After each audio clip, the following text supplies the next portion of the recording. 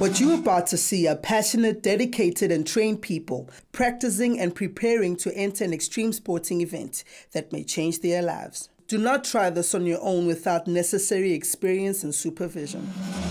Breathe in, breathe out. This moment's what it's all about. Born to be great, your goal awaits. Don't hesitate. For the race, aim to give it all I got. Mind is set, gonna reach the highest spot. Working hard in order to fulfill my goal. Nothing can stop me from getting what I'm going for. That's being great. I was working till it's late, so I won't hesitate. Gotta get to first place. Hands on the golden plate. Not golden plate, I'll concentrate. Won't hit the brake, just move forward, accelerate.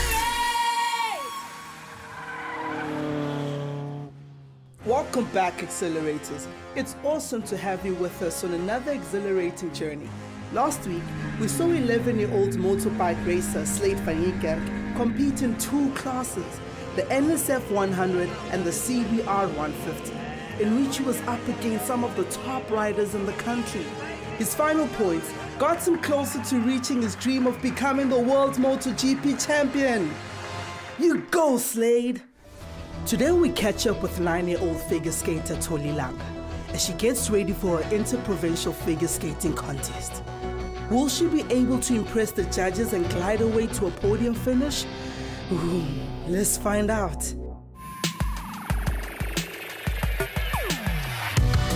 Today is a competition. I'll be competing in an Gauteng interprovincial competition. The um, objective of this competition is to qualify to go to the South African National Championships. Today, my category is juvenile girls, and I'm going to be trying out my new program. Because we skate so late in the evening, we have to relax, eat healthy, and try and try to not be like all over the place. Three hours before the event, we put on makeup and we do our hair and we get ourselves clean and we, as the last thing, we pack our stuff and put on the dress. The dress that I'm wearing today was designed for me to be pretty and colorful. Hi there, my name is Ayanda and I'm a designer and I designed Toli's dress tonight, in fact her costume, and it was inspired by the Pink Panther, but we didn't necessarily go for the pink as people would expect.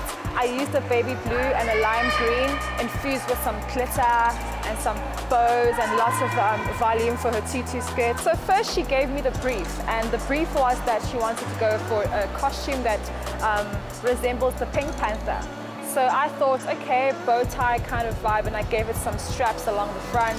And I thought we don't want to be um, usual, we don't want to be cheesy, so we're not going to do pink. And she doesn't like pink. So we chose uh, the color baby blue and lime green. And yeah, the costume was fully uh, inspired by the Pink Panther. If I have a competition or a national, my whole family has to come. They just won't refuse not seeing me skating. I'm her number one fan. I follow her wherever she goes. I take time off to make sure that even if it's during the week and she's got a competition, I'm there. I sometimes, when Toll is falling on the ice, I'm like sitting also like this, but and I'm I'm, I'm scared that she, sh like especially if it's a competition and she's skating and she falls, I'm scared that she's hurt herself and you know she's trying to be brave to finish to finish her program. Um, yeah, so I don't like it like when she falls too much and. First, we have a warm up off ice, and then we have a warm up on the ice. You train off ice to stretch your body and make it warm. So, when you do training on ice, your muscles are already warm and you don't strain it. So, on the ice, we practice our jumps and spins and some of our choreography. My coach is Dino Quattro. My coach is very fun and funky when I do everything right and listen to him. And when I get everything wrong and fall on my jumps, he can become a bit strict and shout at me. Tolly, stretch your arms, please. Do you want to do another double Salchow in the warm-up? I think you need to after that four. Okay, control the takeoff. Left arm in, please. Don't let them go wild. Come on, Genevieve. Half turn, then pull. No. Come on, do it properly. It depends if you do the jump good, then he says go to another jump. And if you do a bad jump, then he gives you the advice what happened. We only have six minutes to warm up on the ice and we have to do all our jumps and spins and some of our choreography. The double jump is the most hardest jump in my program and if you fall on any jump, you get half a point deduction.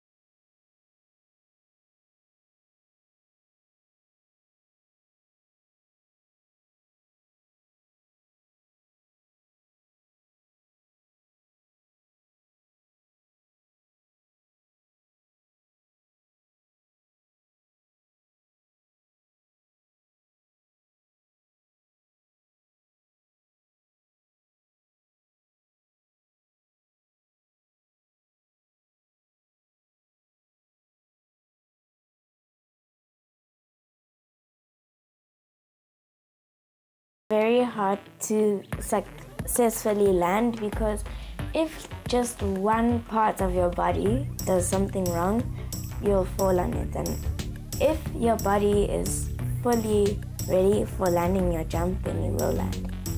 The pressure is just phenomenal. And if you can't deal with that at a young age, um, you're never going to make a figure skater. For me, it's mentally, it's one of the most difficult sports you have to participate in because not only do you have to be physically strong, you also have to be artistically inclined and you have to be mentally uh, able to handle the challenges that so for me it's one of the most toughest sports out there. Today is a really important day for me because i want to get a good score so i can go to the national championship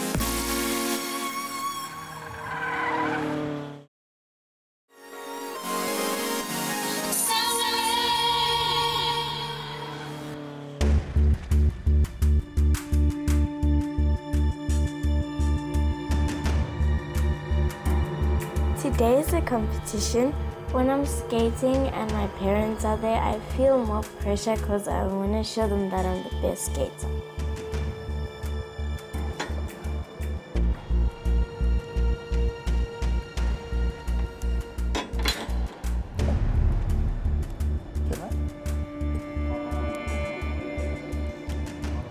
Just you can get used to. Have got sleeves? Little ones. let's take it off so your get used to the comp.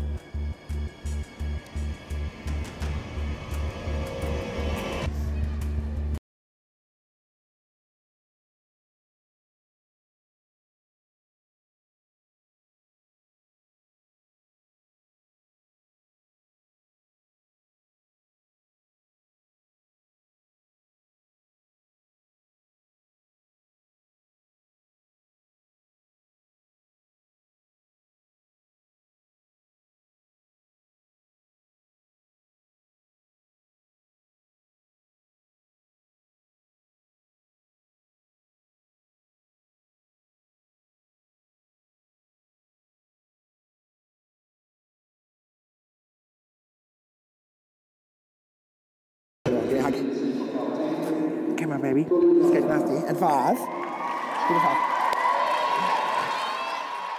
Today I'm skating to the song Dream a Little Dream of Me and the second half Sing Sing Sing.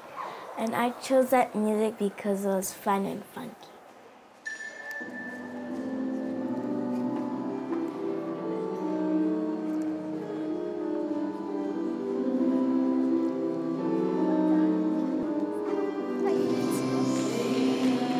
My first jump is a single Axel.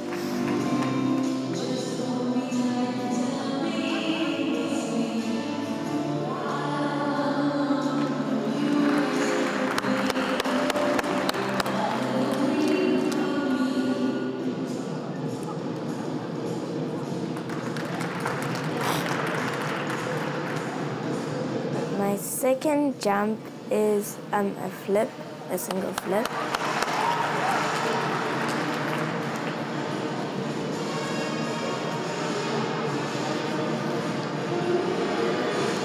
Hardest thing in my program is my double Salchow.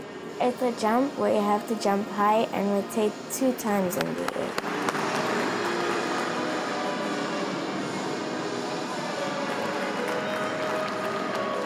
And my spins are a combination spin of camel spin, sit front, upright, and back upright.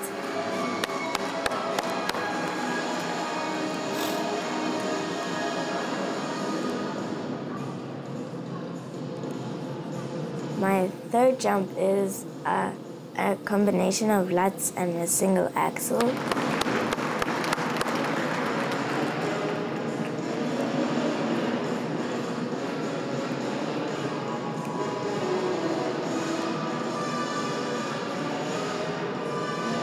And then a single flip loop.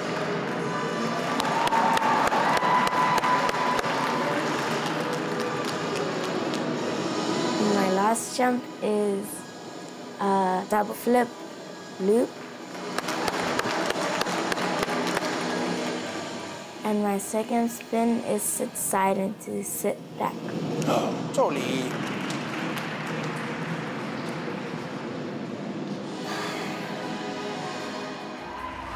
After my routine is finished, I skate to the middle of the ice and I curtsy to the judges and then I turn around and curtsy to the audience. After you've curtsied and your um, program is finished, you can throw chocolates and flowers that are, have to be covered because otherwise the petals spread all over the ice. And then there's fairy girls that skate on and then they um, come in and take the gifts and give it to you. Spin. Really? Okay. And falling on the spin and falling on crossovers. How silly. Huh? Really silly. Oh, this wasn't nice. I'm glad you took the South Guard. Went the wrong way for the South Guard, but it's fine. After my skates, I feel so many different emotions that I can't relate to and pick a specific one. Um, as far as Toli's performance tonight, it wasn't her best performance, but it certainly wasn't any disappointing. disappointment. It's a new program, so we want the judges to um, get a feel for the program and also for us to see what it's going to be like for the rest of the season. Um, I'm not sure where, where she placed yet because we haven't got results yet. That'll be done later on. I'm happy. Um, the coach is never happy. Coaches are not 100% happy. They get, they can get happier, and certainly Toli will need to improve on a couple of things. But I'm happy with the way she skated tonight. But there's definitely still room for improvement. When are you going to learn to stand on your feet on crossovers? Hey? It was really silly. No, I think the most silly was the sit side. I think it was silly when I came on the ice. I think it was silly that you forgot the program and went the wrong way. Um, I didn't. I just, I just, I just went that way because I, I felt confident. Oh, okay. You know what you're doing, that's fine. Huh? I, I, I won't lie to you. When Tolly is competing, I get very nervous. And this time I was clutching on, I was hold, hanging on to my husband like this, you know. And then I, when she skates, because I know her routine, I'm like sitting there and I'm jumping with her. And, and when she falls, I, I, do, I do feel it. But if I can see that she has a fall where she knocks a hip or a, a knee, you literally want to run onto the ice and just take her off the ice and carry her home. It was an incredible skit and I think she did very well in it and she felt great in it and so her performance was just very complimentary to her dress and the other way around. So I have watched many of the performances and I must tell you about today's performance and how they compare. Well, Tolly improves by the day considering the amount of time she spent on ice in the past three weeks. I think she was amazing. Yeah, I've seen her grow from strength to strength. I think uh, for any figure skater, it's important to balance your life. I think it's important that you not only do figure skating, but it has to be your primary um, supporting objective. If you're doing concentrating your interest on too many sports, you're not going to get the results that you require with figure skating because figure skating requires a lot of dedication, a lot of time, and, and it requires commitment from both family members, plus the child, plus the school, plus everybody has to be involved for figure skater to work. With um, Tolly, we seem to have that balance quite well. She's very artistic. She has a lot of artistic interests, which definitely translate, translate well onto the ice for her. Um, her key focus is figure skating because she knows where she wants to get to, and we know exactly where where we'd like her to get to. And obviously, the ultimate goal is to get to World Championships and possibly to represent South Africa at the Olympics in future years. But we're still very early days, and it requires um, a lot of work involved from both coaches and parents and skater to get that child to where we need to get her. I think because these are small children, Tolly is nine years old, so you can't be just saying, okay, now we're focusing, you're going to do figure skating. You need to have that balance, you know, sometimes play with your friends, you know, or have a sleepover, or go painting, or go swimming, you know, so that, because if, if, if I have this theory that if, you, if, if, if it becomes too serious, you lose a bit of the joy. And if you don't have a joy of skating, you will never succeed. After my skate, I went to go play with my friends, and um, before the prize giving, I got ready and put on my skates.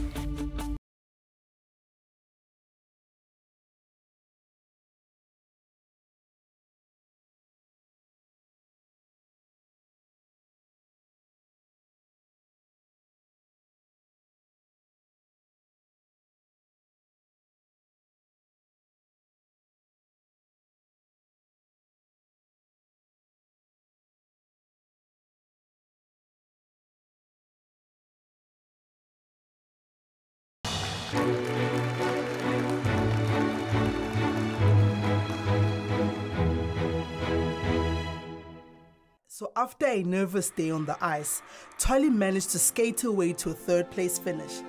Well done, Tolly. Remember, you're a winner, and winners don't give up. My next competition is the Cape Town Interprovincials, and I'm really looking forward to it. So the score that I got in Pretoria was 15.80. So I made it to the international score so I can compete in different countries. And maybe one day I would like to compete in the Olympics for South Africa. After the break, we meet another extreme athlete who's well on his way to achieving his dreams and aspirations. Stay right there.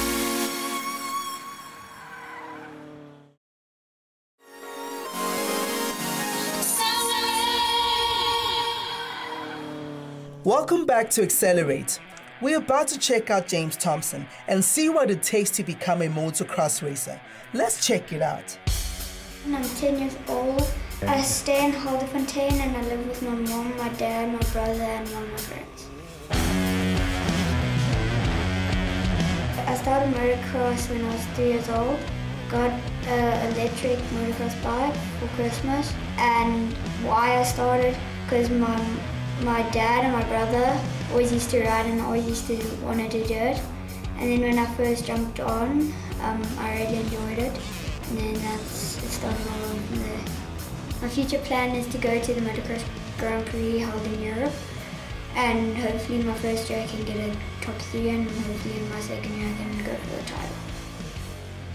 The race I'm preparing for is a Mayfair Gearbox Round 6 event. I have a chance of winning the title first year, so I'm going for that. And it's better than the nationals are, in my opinion, because there's money involved for even the junior kids, and it's well more prepared, and so I'm looking forward to it.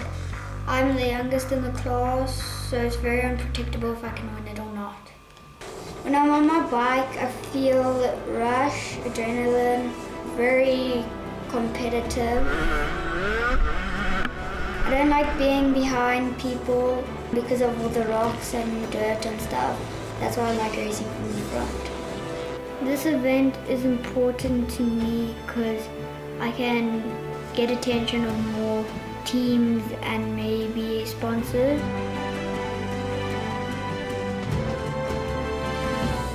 Winning means not everything to me, even if we just playing on my scooters or something I'll, and we just riding for fun. I'll try and come past this oak, so he gets scared. So I'm very competitive. I'm not a sore loser. If I don't win, I'm not bummed. But if I don't win, with not even trying, I'll be mad with myself. I don't have any fears about the sport. Sometimes if there's like a quite a big jump and I, I don't want to hit it, somebody has to tell me if like they can be joking, but I'm still gonna do it. So they can say, if you don't jump it, you're not gonna, you're walking home. Then I'll have, then I'll go and jump it. I'm sort of a daredevil. How much time I spend on my board per week? I have to go sometimes to the gym, like maybe if it's holiday, and then I ride twice a week, maybe three times.